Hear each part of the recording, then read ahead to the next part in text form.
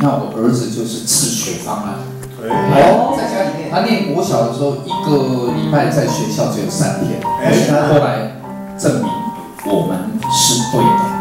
我就跟他讲，你要是考不好的话，通通算爸爸身上。嗯，结果他考出来，全部都第一志愿。哎好帅哦！所以自己自学，能够自我要求是最重要的。我也是自学的，哦是吗？我从小到大，我永远都是班上最后一名。哎，这很好啊，这很好，这个学，因为我这个等于是麻辣锅的锅底。对对对对，然后有一天我进不了。